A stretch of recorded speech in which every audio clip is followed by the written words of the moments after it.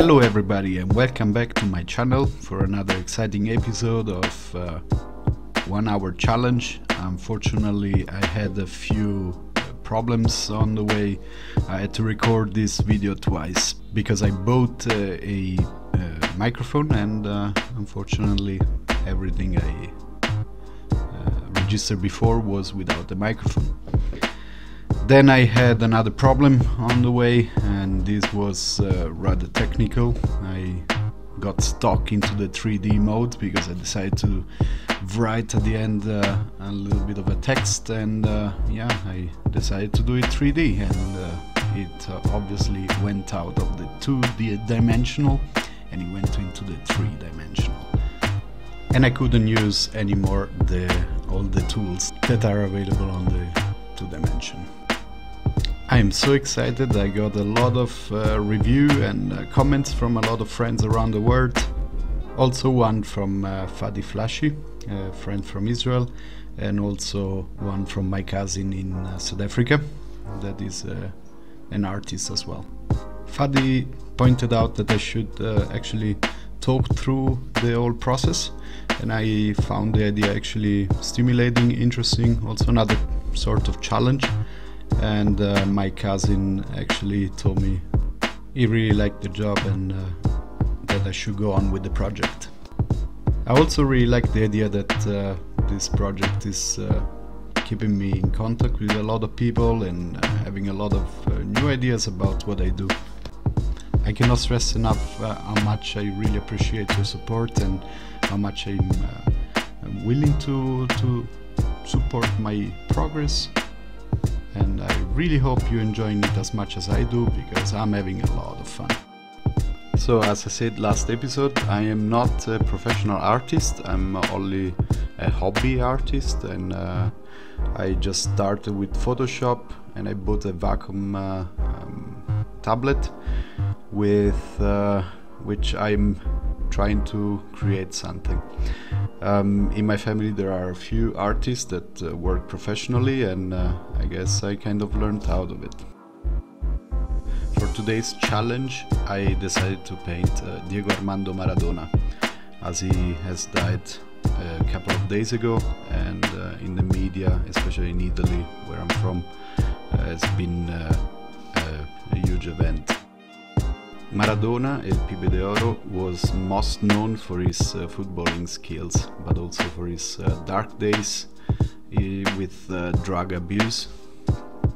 The most iconic uh, memory I have of uh, Maradona was in the semi-final against England in 1986, where Maradona anticipated the goalkeeper with a handball and uh, scored the first goal for Argentina.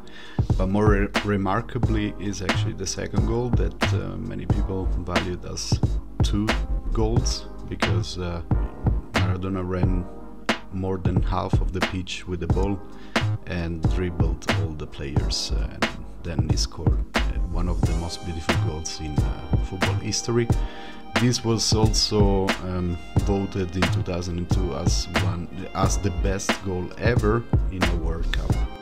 The first goal against England was uh, seen by the media and by the general public in a very negative way. Maradona defended himself saying, I did touch it a little bit with my head and a little bit with the hand of God, which made him famous with the nickname La Mano de Dios. Maradona then played the last games with his national team uh, in the World Cup 1994. He concluded then his career in the Boca Junior and he started to train teams. Uh, he died on the 25th of November of this year at the age of 60. Remarkably, two cities in particular um, took time to say goodbye to their heroes. One is Buenos Aires, which is the city of the Boca Junior, where uh, Maradona moved the first steps into football, and uh, Napoli, that is uh, the Italian team where Maradona played most of his career, and uh, there he won uh, two uh, national titles, one Coppa Italia and one UEFA Cup. And despite the coronavirus um, uh, measurements, the Napolitans went uh, to the street and also in front of the Stadium San Paolo to say goodbye to their hero.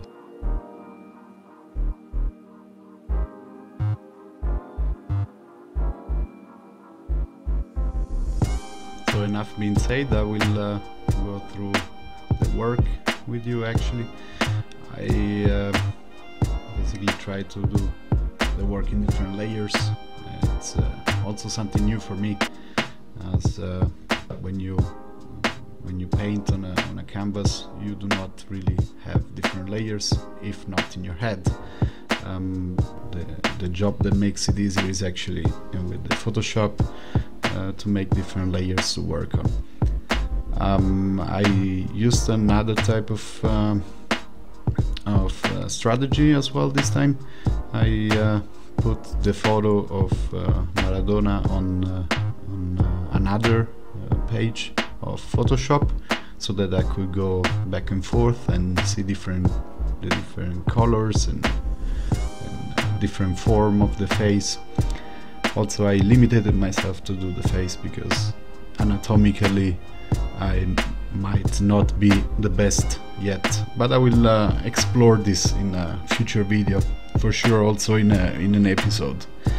Um, I liked uh, the fact that uh, I found this photo on, uh, on uh, Google where um, Maradona was uh, standing probably on an anthem and he looked very serious and another easy thing that I found in this photo is actually that the eyes were in shadow so I did not have to spend too much time with it. As for the details I um, went on and tried to work on different parts of the canvas um, a little bit of a time a little bit per time and not to not to put too much color and try to blend it all in. I used a lot the blending tool and the, the pencil. I really like the stroke of it and uh, the character that gives to the image. If I could go back I would uh, change a bit the beard. I would probably do it on the face uh, layer. another thing that I think I could improve is is some other details like for example the eyebrows on the left side that I'm uh, not sure I actually nailed it.